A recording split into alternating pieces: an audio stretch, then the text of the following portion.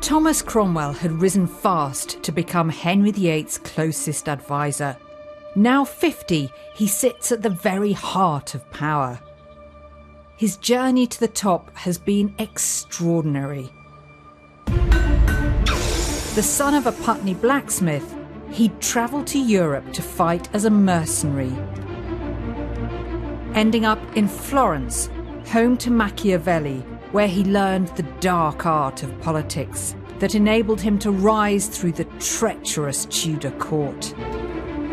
Then, as advisor to Henry VIII, he masterminded England's break from the Vatican and the Roman Catholic Church. All so the king could marry Anne Boleyn.